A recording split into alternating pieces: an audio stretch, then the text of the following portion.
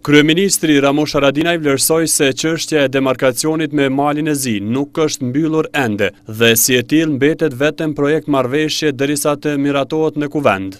Pra një marrëveshje që s'e kanë ratifiku dy parlamente nuk është marrëveshje e përmbyllur, mbetet një projekt marrëveshje.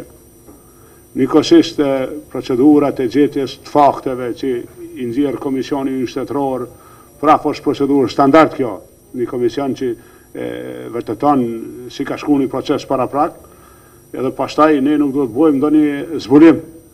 Ka procedura si trajtohen këto tema në mes shteteve, qofshin edhe anëtarë të NATO-s, dyjat. Qoftë njani, qoftë njani aspirant me u anëtarësue në BE si osht rasti ynë. Në vëmendje të kryeministrit Haradinaj ishin edhe aspekte të integrimit në Bashkimin Evropian. Avancimi i Kosovës Drejt BE-së nuk është vetëm perceptim. Zor do ta kemi me shit veç raporte. Ka me na u nevojit shumë substanca që i kem në vend. Edhe zbatimi i MSA-së, edhe zbatimi i agjendës së reformave europiane, edhe zbatimi i programit të reformave ekonomike që ishte temë Besoni është e pamujshme me u shit veç perceptimi edhe me shpresu që Kosova do t'i kalon etapat edhe me marrë statusin e kandidatit me perceptim.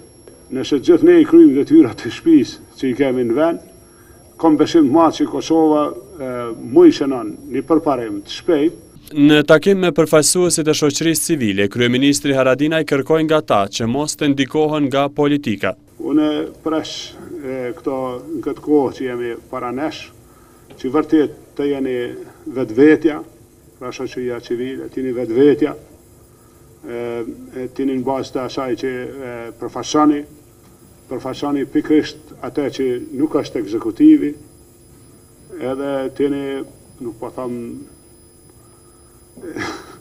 Po ta ruani pavarësinë e juaj, zbatimin që e bën ekzekutivi dhe që e bëjnë shumë të tjera, mos me thonë e korrigjon, por vërtet e pasuron, e ndihmon me ide e me ato që janë me rëndësi për jetën. E shprehi gatishmërinë që një partneritet i filluam, me u vazhdu, me u pasuru ma tutje. Gjatë takimit të kryeministrit Haradinaj me përfaqësuesit e shoqërisë civile, mediat u lejuan ta përcjellin vetëm fjalimin hyrës të kryeministrit.